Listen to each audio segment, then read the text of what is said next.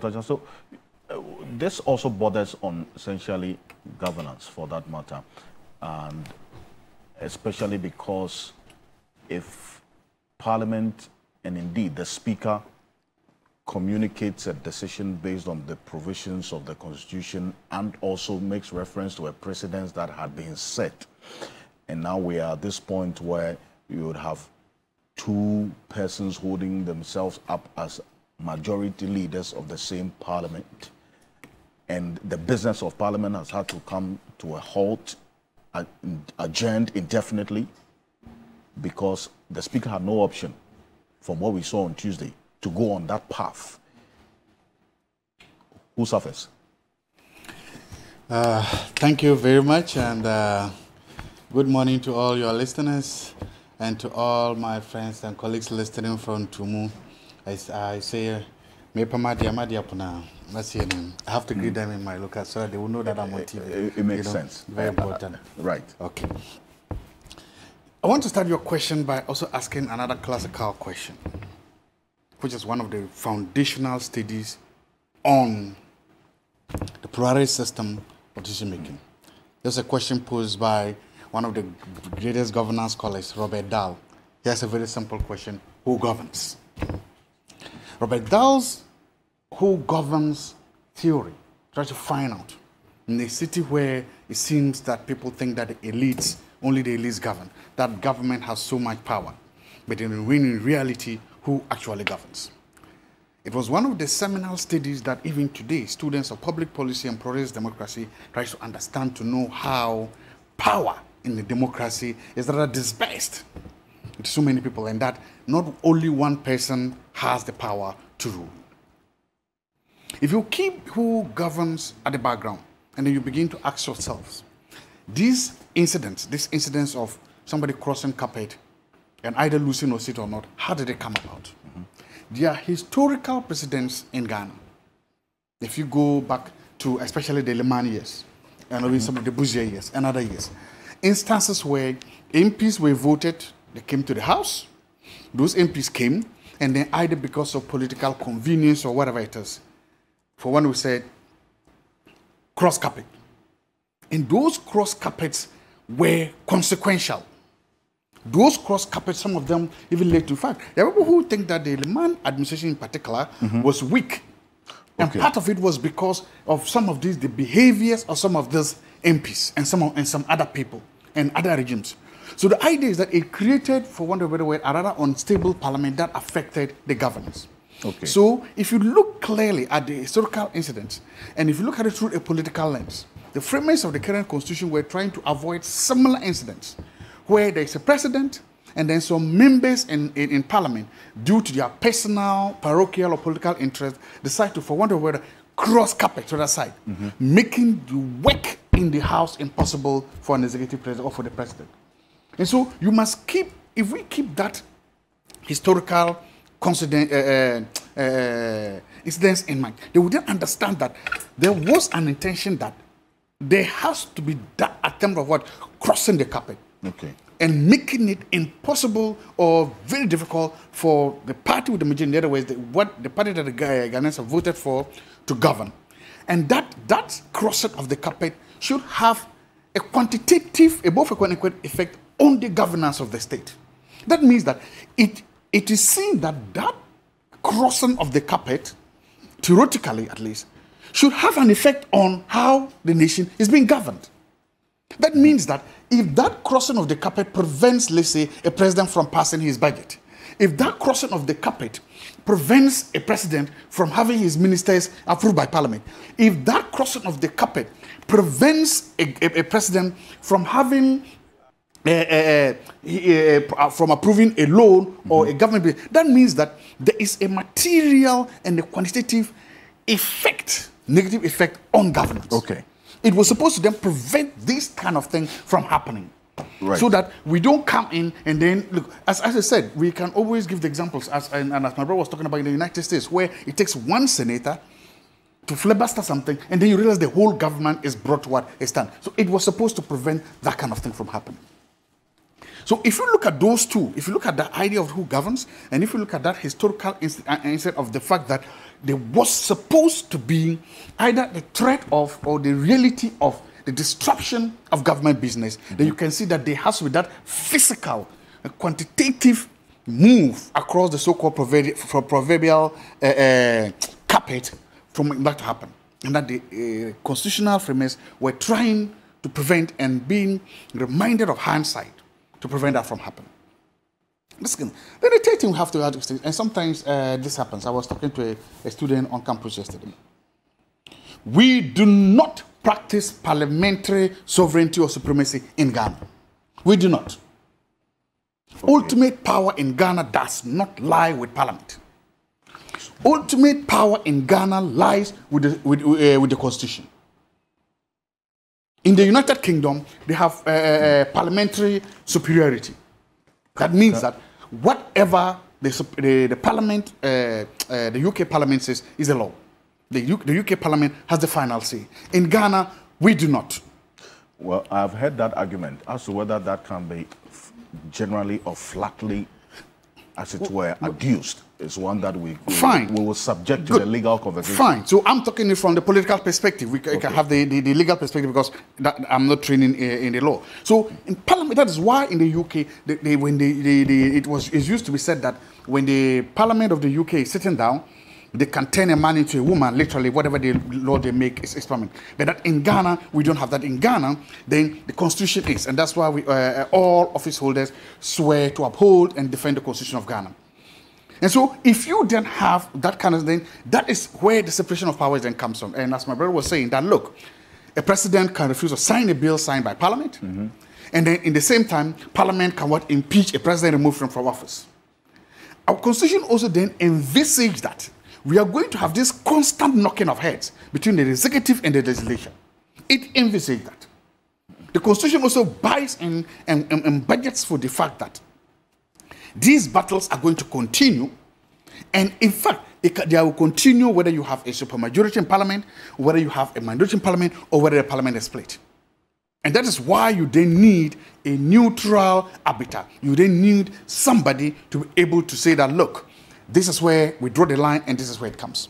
So for me, with the idea that the parliament is not supreme, then it then means that we need somebody who can then, for one to be either be an adult in the room or somebody who can say that this is where the line is drawn. Let's just understand thing. Something. Parliament is hyper partisan. Parliament is all about political showboating. Whatever happens in parliament is about politics. It's about partisanship. And so people in parliament are not necessarily there to fight for what their national interests. But sometimes the partisan interests come in. Sometimes the ideological interests come in. Sometimes the philosophical interest comes inside. And parliament is all about power. And so when you have all these things going on, then it then becomes important for us to understand that somebody or the Supreme Court then start out to make these things. And that is why I think that it's important that when something is of this magnitude happens, then we need a finality. And that's why for me, I'm happy that this issue is before the Supreme Court. And I'm happy and I'm hoping to wait for the Supreme Court to rule to bring a finality to this. Because from a political perspective, I personally think that Speaker Michael Oquaye was wrong. Why was you, you, you believe that Speaker Michael Oquaye was wrong? Yes. At, at, at, the time. At the time he did it, I believe that he was wrong to just come out and at least the one person alone to declare that And I believe that he was wrong from political perspective.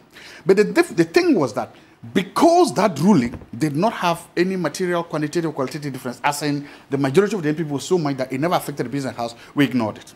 And that precedent has been followed right now. Well, if you say you probably ignore, there are some persons at the time who spoke, but their voices were in the minority, so it wasn't listened to. But a majority of your members, I mean, your party members, mm -hmm. were hailed the, the speaker at the time for that decision that he took which has now become a precedent. Yes, I'm not speaking for them. I'm speaking for myself. And I'm saying that that thing, that decision was wrong.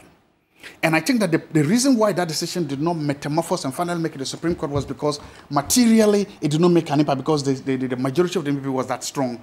And so it didn't have any effect. Mm -hmm. And I think that today, this uh, decision is so consequential because it has both a qualitative and a quantitative difference in that it directly changes the power dynamics in the house. So mm-hmm. in, in, that, so for me, it's the one uh, decision that was wrong, and this one did we didn't need. That is where I think that where the Supreme Court comes in, and that's where I think that we need to understand. Now, it you know it gets to something that uh, uh it gets into. When the uh, Speaker of Parliament came to the House, I don't know whether he made any pronouncement on the rule of the Supreme Court. They did not. that means that he ignored the ruling of the Supreme Court. Is, is, that, is that fair he, to say he that he acknowledged? No, no, you know, no. it was not, the decision was not for you to either acknowledge its existence or not. So he acknowledged that he had received. Yes. Now, again. What, what, what declaration were you expecting from him? No, what I'm saying is that I accept, did he accept the decision or he rejected the decision? Was he supposed to do that in Parliament on Tuesday? No, I'm, I'm, I'm, as I said, the Supreme Court says that stop what you are doing. The Supreme Court, the, the, Supreme Court said, the, the, the, Supreme Court did not say he should stop. Mm -hmm. He said the execution of this decision should be stayed until the final determination of the case. So, what was the execution of decision? What was the execution of decision? The execution, uh, that's what I'm saying. Again, uh, Doc, Doc is here, he may educate on the law. From the political he says that you said that these people have been what? Removed from the house. Or these, these people no more uh, uh, belong here. So power C, the four of them. That was the decision. So if the Supreme Court says stay that decision, I mean, what does that mean? And you think that the Supreme Court No, I'm not saying I think. I'm uh, saying uh, that what does uh, that mean? If you say that these people have been, let me use a word as legal, you are sacked from this classroom. Mm -hmm. And the Supreme Court says, don't do that. Stay that decision. If that is if that is what you're saying.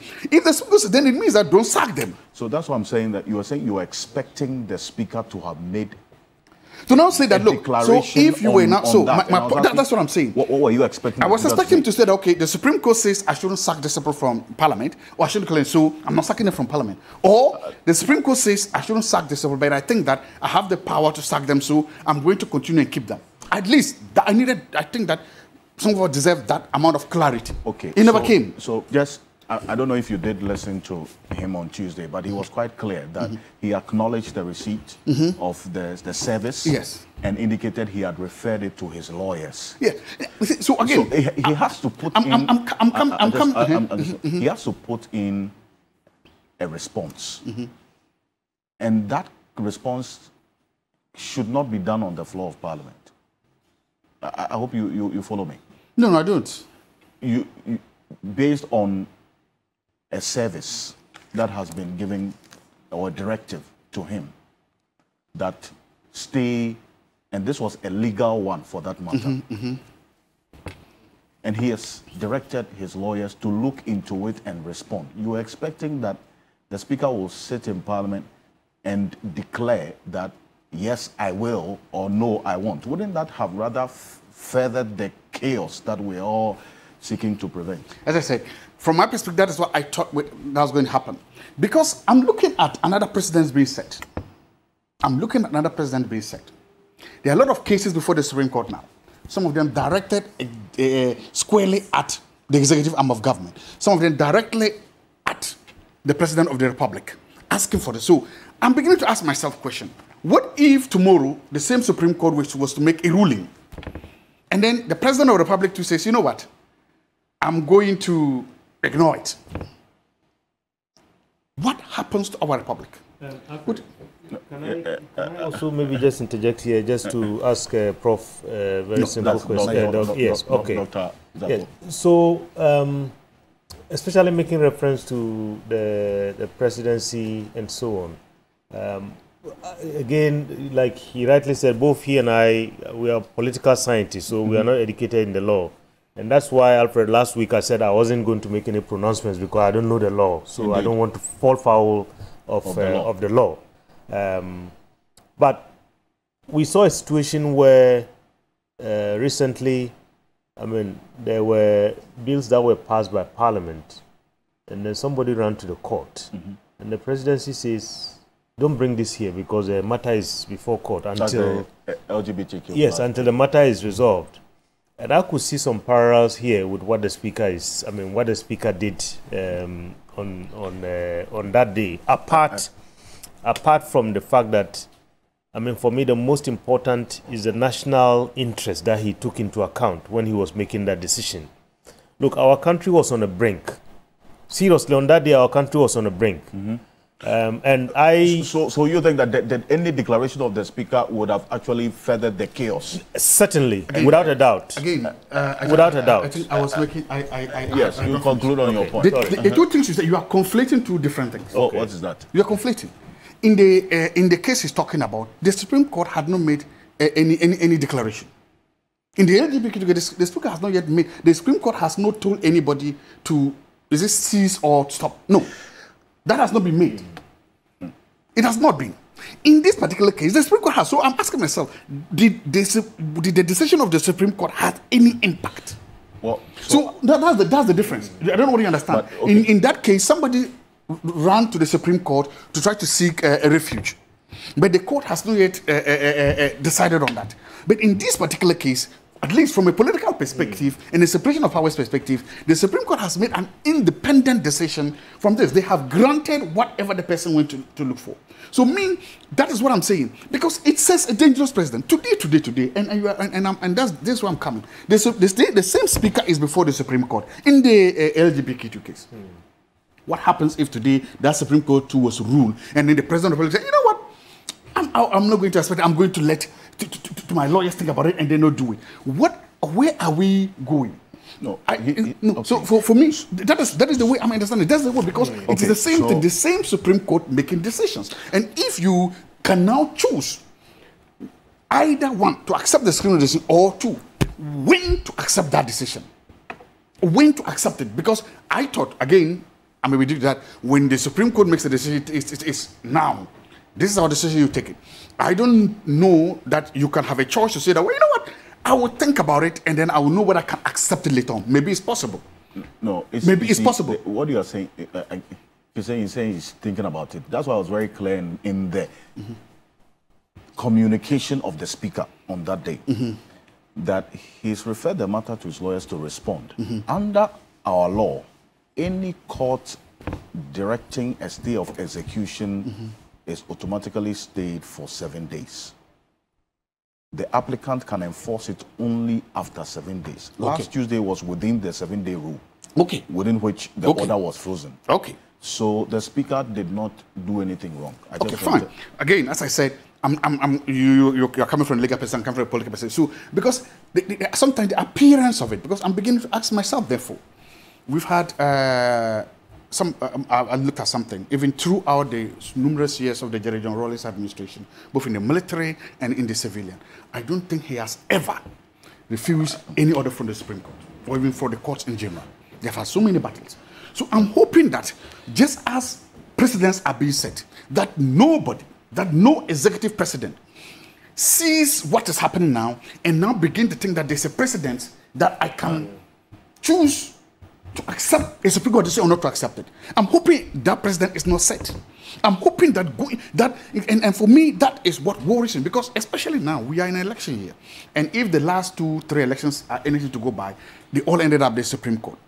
I don't want a situation where we wake up one day, and then the Supreme Court rules us, and then the president is now deciding whether he should or he can accept it. No, I'm praying and hoping that we get to the same way that this, it, uh, when the Supreme Court makes a decision, it becomes supreme, it becomes ultimate. Because once that happens, the, the finality we have, as I said, the Supreme Court all over the world, and not only in Ghana, have their weaknesses, have their strengths, have their prejudices, have their biases. They have all these things. But every mature democracy then understands that they, they, uh, we have to rule a line somewhere, and that somewhere has always been what the Supreme Court said. Well, The moment we now try to now to begin, I hope we don't get there. That we, the hope we don't get a situation where people now try to treat the Supreme Court as a buffet. Okay, I will choose this over this. I will accept this over this. I hope we do not get there, and I hope what is happening here doesn't become a precedent that another speaker one day now begin to choose. Because the moment we do that, we are getting into really dangerous territory, and that will not be good for this republic, and that will not be good, be good for our democracy. So, for me, that is my prayer. That's my whole prayer. Legally, it may not be so, and I'm sure that uh, you, are, you're putting that, but politically, I'm beginning to see that because you see, power corrupts. And absolute power will always corrupt absolutely. And where people know and think that they can now maneuver with these things, politically it may be difficult for all of us. Well, so okay. we sh- it shouldn't it shouldn't be that. Finally, I want to uh, not I, I don't I, I think myself within my time. Yes, you. When I look at the, some of the things that are happening, before the pandemic, people were worried. Are we going to have another January 7th, 2020? Are we going to see blows being thrown? Are we going to see fiscals? Are we going to see people literally beating each other up in that parliament? And then, are we going to have the military? Are we going to see that? People were bracing for it. The majority leader, Honorable Alexander Afenyo-Markin, Well, you can safely say the NPP leader saved us. He saved the country from that spectacle. He called for restraint. He demonstrated leadership. He demonstrated maturity. And he demonstrated decorum by pulling his forces back. We never saw that spectacle. And for me, the whole country, I think the whole country took a, a sigh of relief that that uh, spectacle. Because remember, it doesn't matter whether somebody was legally wrong or legally right. That spectacle, if it had happened, would have been one of the worst days in our political history. Anybody that is able to say that no matter what happens, I'm going to restrain myself. I'm going to show. I'm saying we should, and in our politics, we should begin celebrating such moves because sometimes a small move like that prevents worse things from happening. Hmm. And for him to be able to say that, look, look, look, whatever be the case, we'll fight this another time. We are not finished. We are not throwing the towel. We'll fight another time. But for now, and for the sanity of the state, and for the sanity of the young ones watching, and for the sanity of our democracy, I'm going to pull my forces back. I'm going hmm. to show restraint. That is worth celebrating.